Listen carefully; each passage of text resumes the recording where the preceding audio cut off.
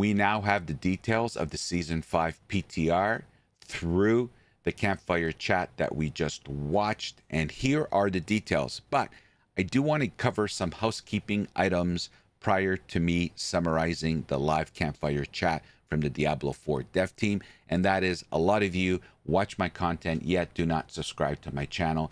So if you could please subscribe to my channel, it would help my channel grow immensely. I would appreciate your support. And don't forget to hit the bell this way, when I drop content, you will get notified immediately. And also, I live stream every evening on Twitch. Channel name is SamyCaps. I'd love to have you come over and say hello. We'd love to have a chat with you. We're a cool, vibing community. SamyCaps on Twitch. Okay, now that I got all this used car salesman stuff out of the way, let's get to the details of the PTR. So, the PTR details are live Tuesday, June 25th. That's when the PTR testing is going to start. It's going to run for one week. That'll take us to July 2nd. It'll be available only for PC Battle.net users. Sorry, console players. Once again, you're not part of the mix. uh, it's going to include the customary cust- uh, character boost. So you can boost a character to 100 right away. But the one thing that they did for this PTR test phase for season five is the fact that they've actually copied our current characters and put them in the PTR. So if you would like to play a current character you have in season four, you can play that character through the PTR testing. So something different from this season four PTR. The devs are also looking for specific feedback from players on the following areas your overall experience with the Infernal Horde, and we're going to get into the Infernal Horde, the new endgame mechanic in season five. How do boons and banes feel? Your experience with acquiring and upgrading compasses. How do the difference how do the difference difficulty levels feel? How are the rewards overall and which do you like the most or least. So this these are topics that the Diablo 4 dev team are specifically looking for feedback on. So if you can make a mental note of those while you're doing if you are participating in the PTR and provide feedback along that addresses sorry these questions because they're looking specifically for that feedback. Obviously, you can add any other feedback you want to add. Of course, that goes without saying. Okay, so What's the new mechanic? The endgame mechanic? Infernal Hordes, as it's called. They coined it Returning to Hell. It's endgame content. The availability of this activity will be unlocked in World Tier 3 by completing a short quest line this activity will be accessed from a portal in Zarbinzet. Players will be fighting waves of minions from hell on their own turf who are rallying to Mephisto. This will include the introduction of the Infernal Hordes feature on the PTR. The Infernal Hordes will be a wave based endgame activity similar to Helltides that will actually take place in the Burning Hells instead of it in Sanctuary. Access to this activity will require a new key called an Infernal Compass. The compass will range in difficulty from tier 1 through tier 8. Lower tiers will run for about 10 minutes, and higher tiers run as long as 15 to 20 minutes. Low tier compasses will drop from Nightmare Dungeon, Helltides, and other activities. High tier compasses can be obtained by upgrading low tier compasses with a new consumable called Abyssal Scrolls. Players will be rewarded with some drops in between the waves of enemies spawns and will also need to make some survival style choices with the infernal offer prior to proceeding with the next wave. At the end of each wave, players will select a boon and one bane that will impact the remainder of the event. Like Nightmare Dungeons, players will only have a limited number of revives during the event. The event will culminate in an all new boss encounter that will feature the Fell council, formerly the High Council in Diablo 2. Yes, you heard me right, guys. the High Council from Diablo 2 is coming back to Diablo 4 with new designs and abilities. Players will simultaneously have to battle with three of the five fell priests. So it's going to be RNG. There's five of them. Randomly, three of them will be selected for us to encounter during this battle. Players will simultaneously have to battle with three of the five fell priests. Like I said, certain enemies and mini events will drop burning ether, which is a new currency that can be used to open chests at the end of the event. Players can change the burning ether for different different types of awards, including a new legendary and unique item, masterworking materials, or gold, one randomly rolled item with a guaranteed greater affix, including some new unique items. And this is where target farming comes into play, guys, is the fact that when you're running this event, at the end, you get to choose what reward you want to take. So you can target farm these chests. And let's say you are master working gear, gold is an issue for you, you can target farm the gold rewards and continue to attain gold if that's something that you need desperately, which a lot of players do. Um, so that is the new uh, end game mechanic. Now, during the campfire chat, the demonstration of the Infernal Hordes was a tier three, and I happened to notice that the monster levels were level 100. Now, the question was asked what the high tier, what monster level will the high tier be for Infernal Hordes? And the answer, the response was the tier 8, the monster levels are going to be at uh, 180 to 200. So it's going to be a very difficult challenge at the highest tier tier 8 for this new endgame mechanic. Okay, what else is coming down the pipe? There's going to be 50, 5 0 new uniques and legendaries will be introduced in season 5. All of the new season 5 unique items will be included in the PTR. All existing unique items will be updated when the season starts. So there's new locations for target farming unique items, including Mythic, Uber uniques.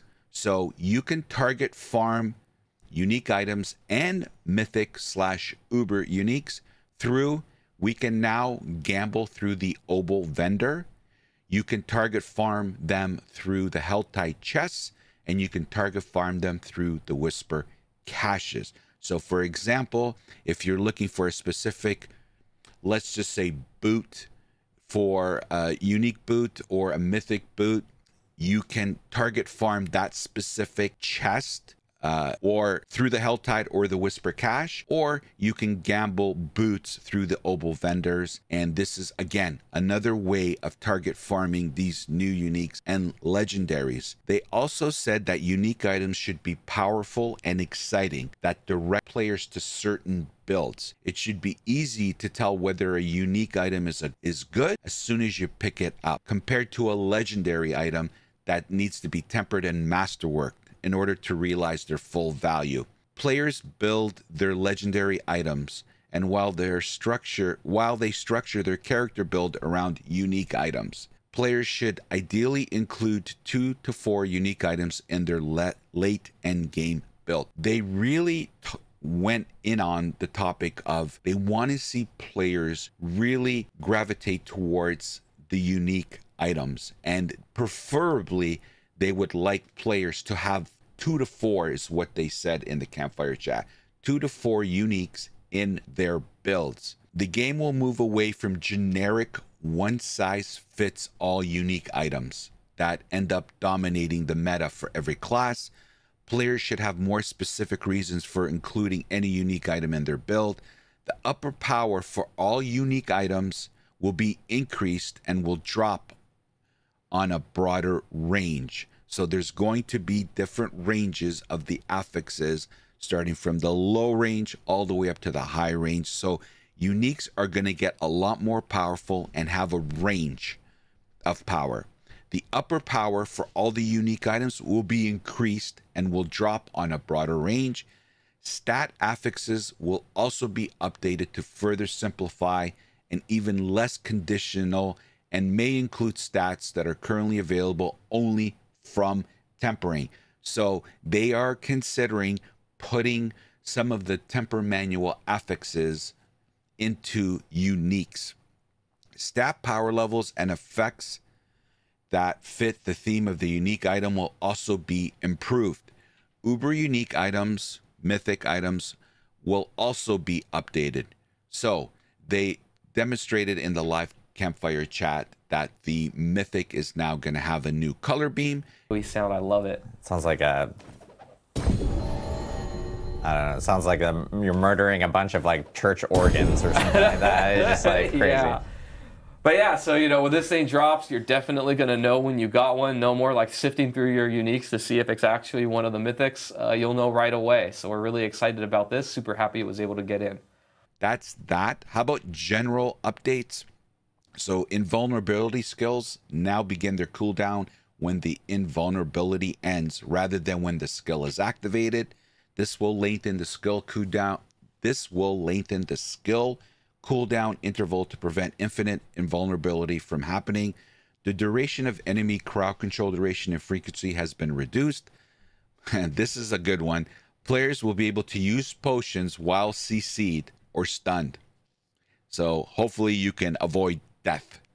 The devs have been looking closely at this issue associated with tempering, and they currently still approve of preserving the possibility of heartbreaking items. However, they are also looking at ways for players to sway the RNG.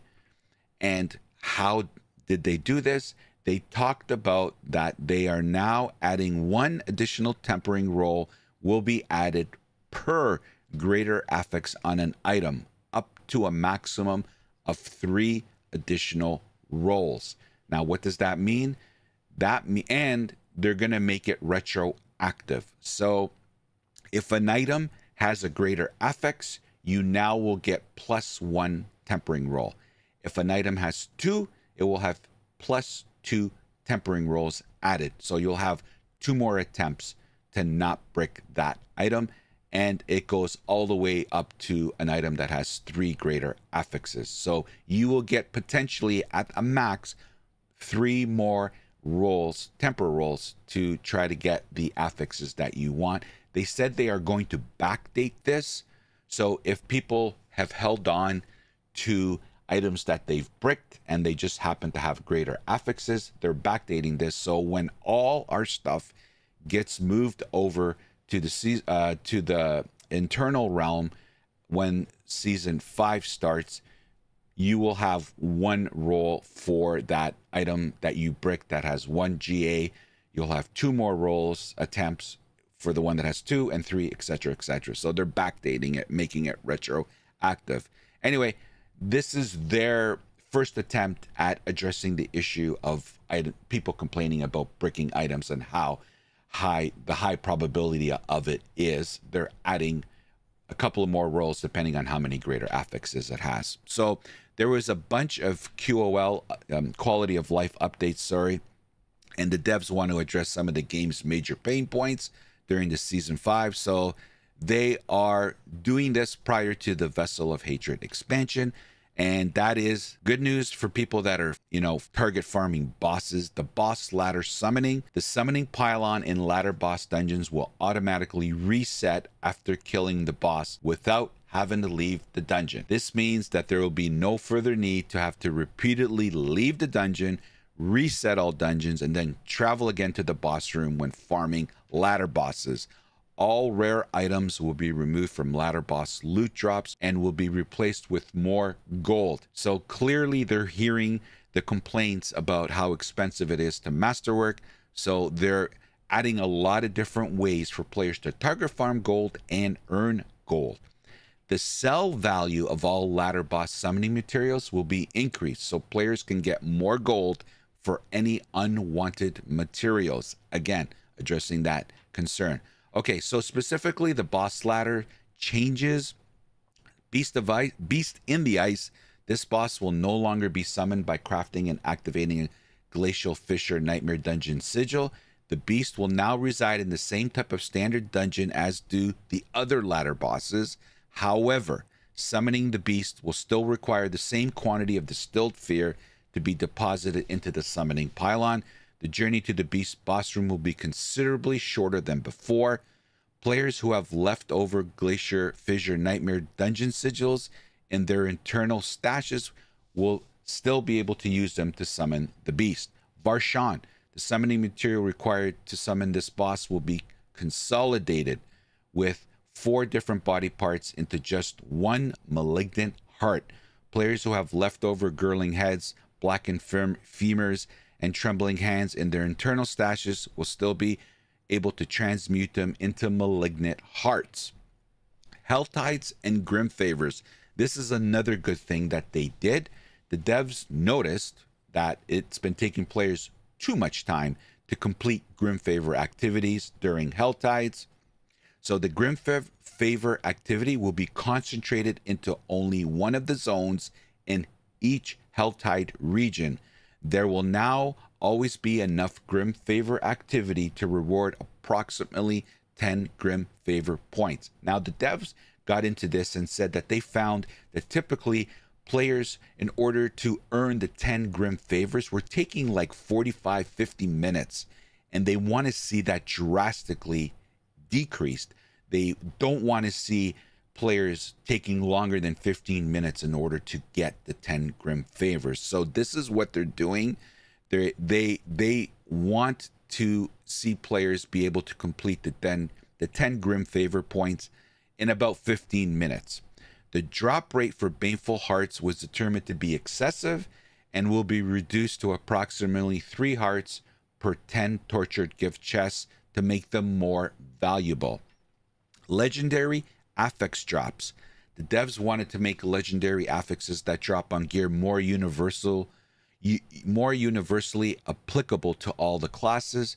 So, in particular, the damage affixes on weapons will drop with fewer class specific conditions. Weapon slots. So, the sorcerer's class will now be able to equip one handed swords as maces, including Azurewrath and Doombringer. The Druid class will be able to equip two handed pole arms as well as one handed swords and daggers. The Necromancer class will be able to equip one handed and two handed swords and axes, included the Butcher's Cleaver. They basically want all the classes to be able to equip and utilize other types of weapon types. Whew, that was a mouthful. Anyway, that is my summary, guys. There's a lot more. I'm going to actually include the actual patch notes, which are live already in the video description. So you can check out all the stuff I didn't talk about. I also want to have clarity on a couple of things. So, season five begins August 6th and is going to run to October 8th.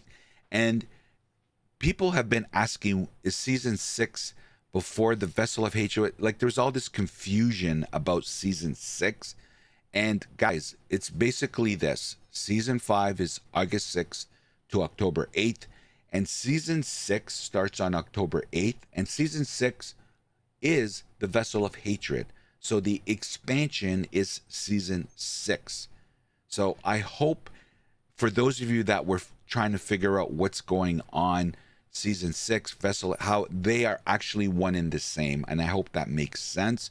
So the season five is a shortened season obviously and then on october 8th vessel of hatred which is season six will start on october 8th i hope i didn't confuse anybody. Anyway that is the live campfire chat summary from my perspective. There's that new end game content. There is a ton of uh, updates with the classes that I really didn't get into. I never get into all that minutia when it comes to the class updates, changing this, power this, all that kind of stuff. There's a bunch of new uniques, 50 uniques and legend. There's a lot of stuff that's being dropped, but I want to hear what your thoughts are on the campfire chat. What are your thoughts? What do you think the season five so far? What we've heard, the next major date that we have is July 18th, where they're going to reveal the Spiritborn, the new class. Uh, that's the major one, next major update for this game. But I want to hear what your feelings are on the campfire chat. Are you happy with what they're bringing to the table in season five? Let me know. I would love to hear your comments. Anyways, I want to thank everybody for watching my channel. And like I said in the beginning, if you can, a lot of you watch my content but don't subscribe. So if you can subscribe to the channel, it would greatly help me immensely. Thank you so much for the support. For those of you that do subscribe and continue to watch my content, it means the world to me. Thank you. And as always, thanks for watching, everybody. Hope to see you next time. Take care. The opinions expressed in this video are mine and solely mine. Healthy debate is always encouraged, hate is never welcomed. So get over it.